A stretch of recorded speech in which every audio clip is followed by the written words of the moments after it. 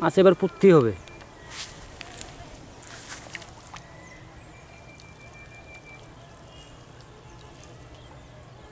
আস্তে আস্তে আস্তে আস্তে আস্তে তুল।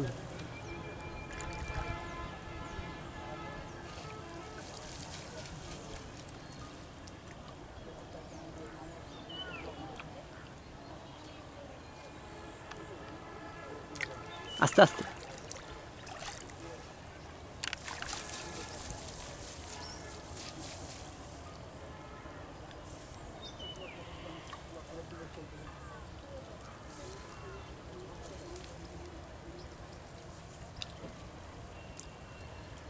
এদিকে ঘুরাইলে, সামনে ঘুরাইলে সামনে ঘুরাইলে।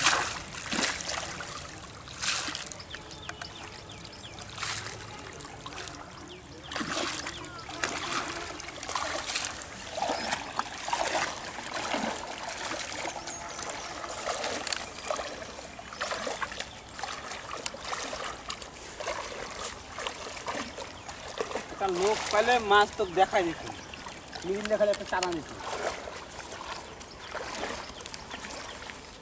টানা দিলে তোর বড় উঠে যেত।